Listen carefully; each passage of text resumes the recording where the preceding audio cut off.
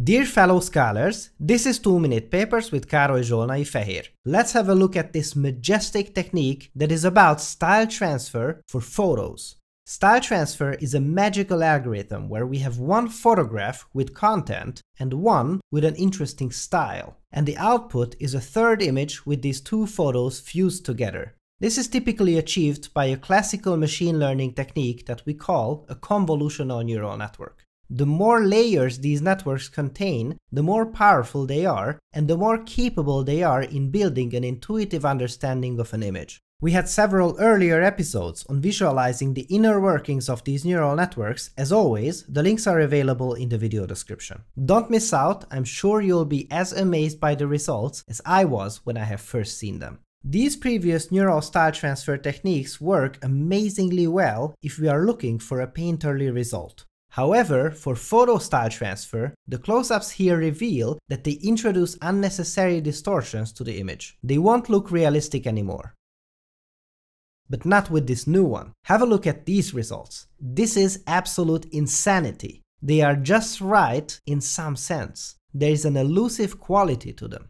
And this is the challenge. We not only have to put what we are searching for into words, but we have to find a mathematical description of these words to make the computer execute it. So what would this definition be? Just think about this. This is a really challenging question.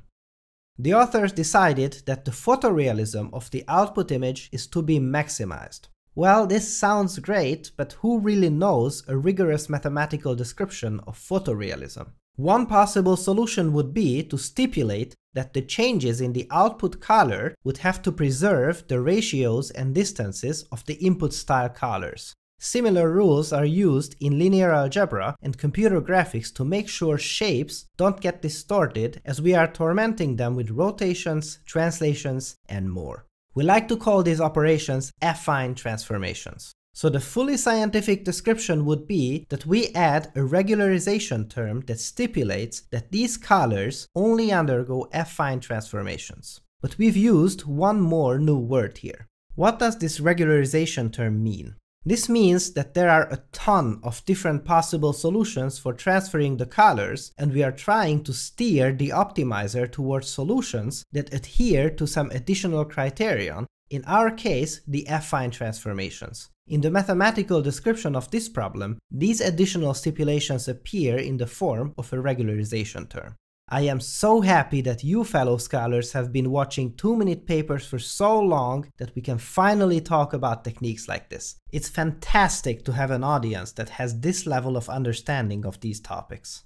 Love it. Just absolutely love it.